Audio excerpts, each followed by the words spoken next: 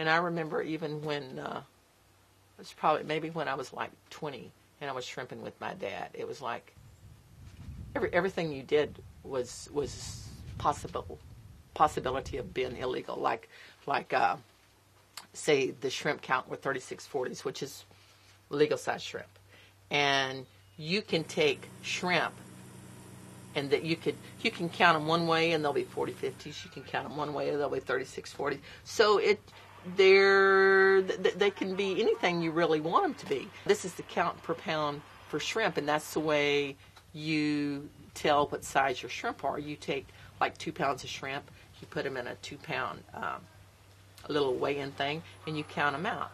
And if they're 36 40s which was uh, legal or they're 40 50s which was uh, borderline, and but it, anybody could take those shrimp, and anybody could count them different. Is how you count them.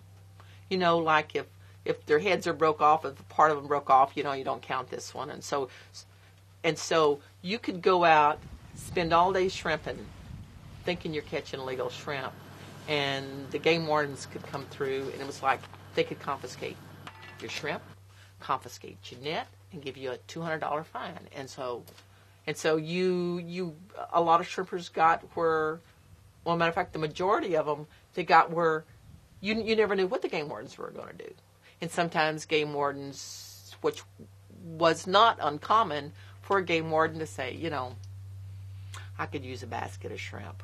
And so you'd meet the game warden down there on the intercoastal, a little obscure place, and he they back up with their truck, and you put over a load of uh, shrimp farms. So they, so you know, shrimpers were uh, very wary of the uh, game wardens. State game warden, you're under arrest.